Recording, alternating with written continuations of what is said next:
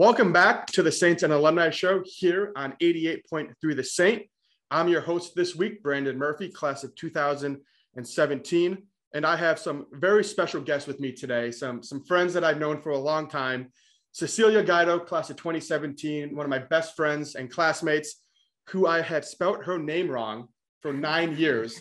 And preparing for this show today, this episode, I realized that her name was spelled with an I and not an E. So I've got to fix all my contacts that I have with Cease. Uh, and she is now also joined today by Sal Buddy Guido, class of 1972.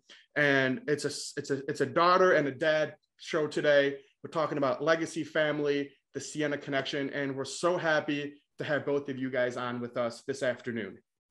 Hello, thank you for having us. Yes, thanks, Brandon. It's uh, good talking to you again. And, and uh, I've said this for the entire week as we've been planning this episode with you two. You know, I, am so excited about this episode because it's about a legacy family and, and a really great family indeed. And not just because we share that connection to the 315 uh, and the roots that we have in Central New York, but just like my family, the Guido has a strong rooted connection to Siena. And we're going to dive into that today a little bit uh, about your path at Siena, some of your favorite Siena memories, and life since Siena. But I kind of want to take back the types. You know, I'm, I'm sitting here next to the class in 1972 yearbook, and I'm looking through Buddy Guido's photos and all of the memories that he had. Uh, for the audience today, can you, Buddy, share a little bit about what it was like coming here in 1968 as a freshman, what campus looked like, what you remembered about freshman year, and maybe how you decided to come to Siena. Okay, well, uh, first of all, I uh, actually got a leg up on my fellow classmates because I was at Siena two weeks earlier to report to football camp. And we actually had a football team back then, and uh, we were undefeated that year. So um, I felt like I uh, actually had a little bit of a comfort zone already um, for those two weeks. And then when my uh, classmates came, I felt like I was, uh, I already knew some of the ins and outs of the, uh, of the campus. And you also had a few of the ins and outs too, because we were talking briefly about the Legacy family. You had a brother that went here to Siena too before you came to Siena. Did you ever come and visit him did he ever come back and share all these great Siena stories with you? Well, I did my senior year in high school. He was a senior at Siena. And this is Bob Guido. And uh, he he had me come down for a weekend. And uh, I was going to actually, I was accepted at Union College and I was going to go to Union. I was going to play football at Union. As it turns out, he was playing football at for Siena, which was a kind of a fledgling program at the time. And um, I visited the campus and I uh, actually felt more comfortable there than I did. Uh, nothing against Union, but um, I just, I liked the atmosphere. And I, I decided, well, you know what? I, uh, like a lot of people at, the, at that time, I really didn't know exactly what I wanted to be, but um, I I like the idea of going towards the liberal arts kind of uh, education, along with uh, I was an accounting major, and um, they always told me that was a good foundation for pre-law. So I took all the law courses, and subsequently I didn't go to law school, but um, that's how it worked out for me. and, and buddy, you talked about it, you know, briefly that you didn't know what you wanted to do exactly when you came into college. I was the same exact way. I wanted to wear a suit and tie because I loved wearing suits and ties in high school. So I said, you know what? I'm going to come in as an undeclared business major and, and see where that path takes me. Um, but I quickly realized that that path wasn't for me, and I decided to be a psych major. Um, and you were talking about all of these different classes that you took. And I was looking through the class of 1972 yearbook, and all of those photos are in black and white. And I was looking in the 2017 yearbook. All those photos are in color, and there's a lot of growth and a lot of enhancement enhancements to the campus. For the younger audience listening to us today, can you talk a little bit about where you lived when you were on campus, some of the campus life experiences that you had? Was the library, you know, where it is today? Just a little bit of a perspective of what campus looked like uh, back in the 1960s and the 1970s. Okay, well, back then you would have turned off of Route 9 onto Spring Street. And as you, I lived in Ryan Hall, and as you made a left to go to the Ryan Hall parking lot, on your right was the IM football field, which is now a dorm. Uh, it, it's changed quite a bit in that respect, I would say. There's a lot more buildings on campus now. Our uh, football practice field is now where the, um, the Alumni Recreational Center is. Uh, things, to, the trees obviously have grown quite a bit in 50 years. I can tell you that. And uh, I'm not familiar with the name of the building now. It used to be Gibbons Hall, and that's where we used to play basketball. And um, there was also a Rathskeller underneath. So which I'm time, all about bringing back. You know, I'm, I'm going to keep pushing that. Time, if you were 18, you could drink legally, and so uh, you really you had a Rathskeller right on campus which was very convenient. And there weren't too many DWIs. Wait, what, what was uh, Gibbons Hall? What did Gibbons Hall? It was the one that would have been just west of Roger Bacon. So it's now Foy Hall, where we have the Creative okay. Arts Building, the Center for Career and Internship Center, and there's a lot of employees at Siena that always remind me about the Rathskeller and how great that is. But we don't have that nowadays, and it wasn't here when Cease and I were on campus. And a lot has also changed in the past five years. But for you, Cease, you know, I think it's what the fall of 2013. We had met each other, I think, on social media before a high school recognition for athletes. And we were like, I- we're going to Siena. Brandon, uh, Brandon and his brother, they were the uh, talk of the Westmoreland athletic department. So we had we met at this scholar athlete banquet and I saw their names. Do you mm-hmm. remember yeah, they were oh, there? Yes, yes. yes, I was there. And he was there, and I'm sure Pam and Pete were there. And uh, yeah, we went through, I went through the pamphlet. and I was like, oh my gosh, these guys are going to Siena. And I did, we never got the chance to meet, but I did meet you in the cafeteria in Saga when uh, you guys were just walking around with a Saranac bear and asking everybody to sign. I said, that's a good way. And that's, that's we're right. from Utica. I get it. We understand it. I remember we were walking, yeah, walking in the dining hall, and, and you were with Kevin DeRutter, and you were like, "Oh, hey, just come eat with us." And I had said, "Oh, I've already been saga sitting for two hours, but you know, I'll come and say hi real quick." And then we became lifelong friends. Uh, right. But you know, every now and then, I was like, I want to get out of the dining hall. And luckily, I had my brother Ryan, who was a senior at the time, and he kind of spoiled Andy and I a little bit. He had the car on campus. The freshmen couldn't have the car on campus. So he was like, "Oh, let me take you to a Latham diner. Let me take you to Five Guys and, and get some and get some off-campus food."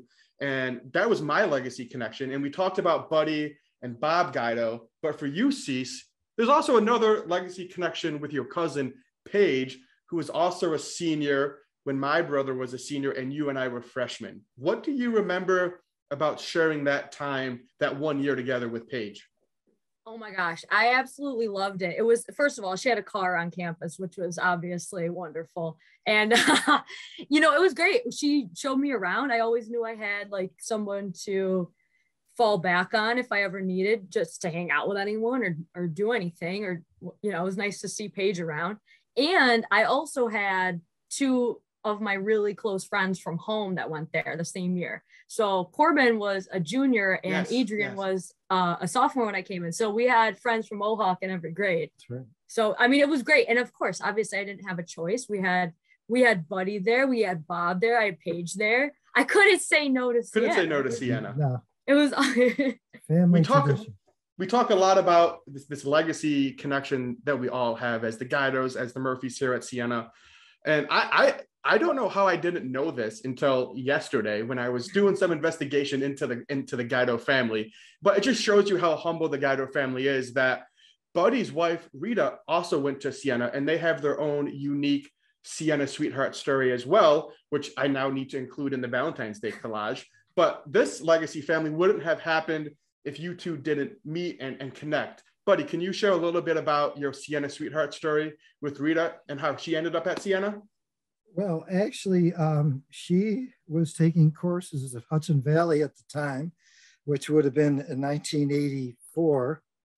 And Hudson Valley had an exchange program with Siena. And she ended up taking a few courses at night. And um, she, she worked it out so that she actually got a degree from Siena. And uh, nobody there really knew her. but, and uh, of course, this was uh, quite a while after I went there. This would have been. But you guys had met you guys had met before she went to Siena, right? Yes, we met in 1980, but um, so uh, she did get her degree in accounting, as I did and my brother Bob did. So. And I, we only got one minute left until we got to cut to commercial break. But we talk about all the improvements that we've had over the years. And, and one of the strong traditions is, is family weekend. You know, in, in, in about 30 to 60 seconds, can you both just talk about what it was like experiencing family weekend together for you, buddy, as a parent, being proud that your daughter Cease was here at Siena, seeing what was new around campus. Just brief thoughts on, on that for both of you. Well, I got to tell you, it was after all that time, it was a little overwhelming to see the changes. I mean, it, almost like I I got disoriented a little bit. but he was trying to point to the landmarks. Like it was very much like and this is where I, we I, I felt like I was the uh, tour guide saying, back then, this was there, this was here, this was there. The library actually was uh, pretty much um, where what's the center where the mailboxes were and all that? Sarazen Student Union. Yeah. Yeah, yeah. That was the library.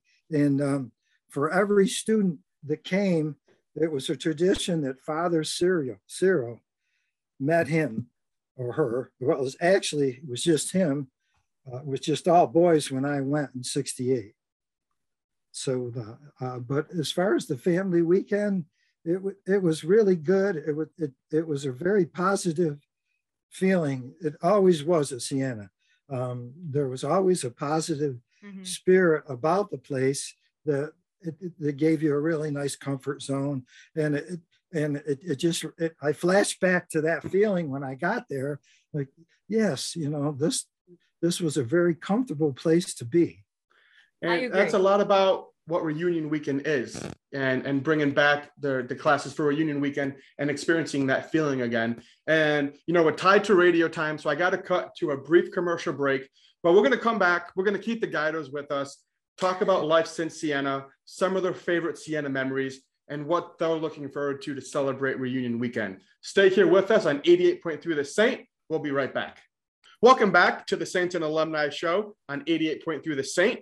I'm your host, Brandon Murphy, class of 2017. I still have the Guido family with us today. We have Cecilia Guido, Cease, class of 2017, and her dad, Sal Guido, Buddy Guido, class of 1972. We're talking everything Siena related, some of their favorite Siena memories, what they remember most about coming to Siena. And we're going to pivot a little bit in this segment to life since Siena and what's going to happen when they come back to celebrate their five year reunion and their 50th reunion. But we cut briefly, too quickly in the last segment about what is most memorable with the changes at Siena. And that's why I want to go back to you, buddy, and just have a little bit more perspective for the audience today about your time at Siena and some of those changes that you experienced as a student here on campus. Okay, well, I'll, I will say, um, go, being a student in the 60s, it, it actually was a time of change um, socially. And uh, obviously, one of the big changes at Siena was going co ed. So when I went there, it was all guys. The next year, girls started coming. So that was a real big change. And um, it, it just was a big time, big change in society at the time. The Vietnam War was going on. Um, so it, it was kind of, and I know Siena has changed over the years, but I, I would say that four-year period was probably as volatile a change as uh, it had ever experienced, going from uh, all male to co-ed, um, not having mandatory ROTC, um, not having to wear a suit to uh, to class. I would love that. All that, yeah, all that. Um, it, it was quite a change. And so and, those four years were uh, were were a big change for Siena, I would say, in the long run. And in, in, in my eyes, when I when I think about change and I think about growth uh, as somebody in their 18 to 22, you know, it sticks with you. And I'm sure, you know, when you were experiencing this change, buddy, that there were probably some some lessons and some some values that are rooted in you as a student that you've taken with you since Siena, uh, the Franciscan value that we all have as saints. Can you reflect on a little bit about some of those values that you've taken with you throughout your life um, that you try to live by day to day? Well, I think the biggest uh, thing that I come back off of that with is that uh, the it's it's important to stay positive, and and I, and that is the uh, the overall spirit that I got there was that uh, you're human, you're going to make mistakes, mm-hmm. but we're here to support you. We're here to make this a comfortable experience, and um, uh, the values that you learned, you, you kind of instinctively knew this was the right thing to do, mm-hmm. and uh, it made it pretty easy to, to carry over in life. And we talk about, you know, taking all of these values with us. And for Cease and I, one of those key slogans that we remember is the education for a lifetime. And we try to take what we learn as young adults and take us take it with us through life. But for Cease, it's literally the education for a lifetime. Uh, as you went into the teaching profession uh, after your time as a saint, can you reflect a little bit and share with the audience today some of those lessons that you learned as a saint and what made you passionate about teaching and, and helping others in the education field?